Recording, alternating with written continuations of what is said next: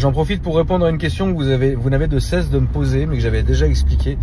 Comment ça se passe quand je me fais contrôler par les flics avec toutes les armes dans la voiture? Bah, Figurez-vous que j'ai le droit. Donc ça se passe très bien. Après, il peut y avoir euh, des moments où c'est étrange parce que t'en as qui sont pas habitués. Et nous, on est censé le dire directement, genre dès qu'ils te font le contrôle, avant même de lui dire bonjour, tu vois, mes, je suis tireur machin, j'ai mes armes derrière. Il euh, y en a qui trouvent pas.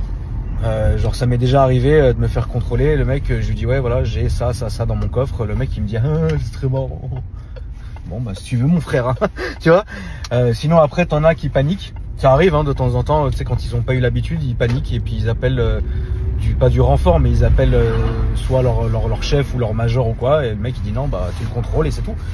Et sinon il y en a et ça c'est les plus chiants. Ils, ils forcent à tout déballer et tout regarder. Oh, ça peut prendre genre 45 minutes. Mais sinon, en vrai, ça se passe toujours très bien et ça m'arrive genre une fois par semaine minimum, quoi. Mais par contre, tu vois, le truc que je ferais vraiment pas, c'est d'aller au tir euh, avec mes armes et en moto. tu peux en vrai, hein, tu mets dans la sacoche ou quoi. J'ai même vu un gars arriver un jour au Baltrap en moto avec la housse du flingue dans le dos et le canon il dépassait. Une antenne, frère.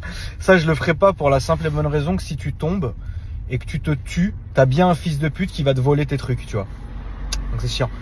Euh, ou alors que tu tombes et que ton flingue il glisse sur toute la, sur toute, non non non, non non non. C'est mieux voiture pour ce genre de truc. Après, faut que ça reste un plaisir, frère, tu vois.